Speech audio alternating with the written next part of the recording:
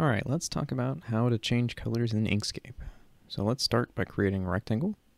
So we've got a rectangle now. Mine is currently filled in. I'm going to zoom in a little bit. Some rounded corners.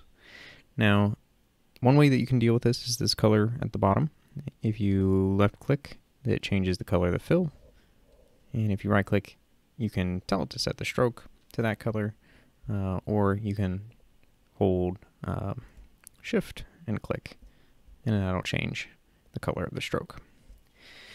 So I've been mentioned fill and stroke. Those are the two different kinds of colors that you can change. The fill is the stuff on the inside, and the stroke is just the border, and some softwares even call it border.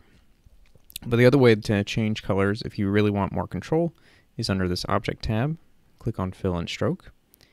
And I'll open a menu over here where you can start to change a lot more. Uh, there are a couple different ways that you can change colors. Uh, you can change them in red, green, blue, HSL, and a couple of other different options. I usually stick with red, green, blue, uh, but feel free to play around with these. And you can just change where the slider is, or you can increment or decrement, whichever thing you'd like. One thing I usually recommend if you're designing something that needs to fit with other things, you may want to lower the opacity so that you can see through whatever you're working with. It tends to make it a little bit easier to figure out what's going on in your design.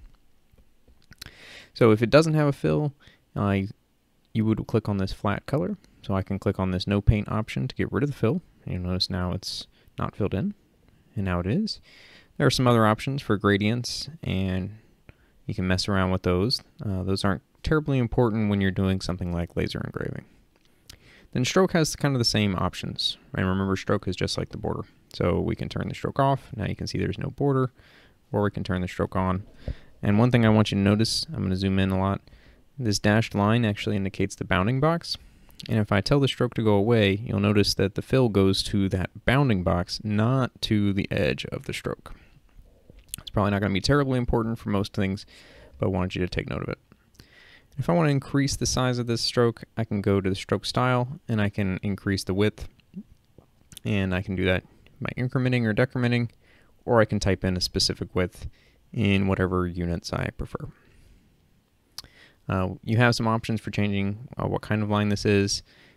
This could be useful at some point, but most people don't use it for anything. Okay, that's it. If you have other questions that you'd like to see addressed in a future video, please comment below, uh, and I'll see you guys next time.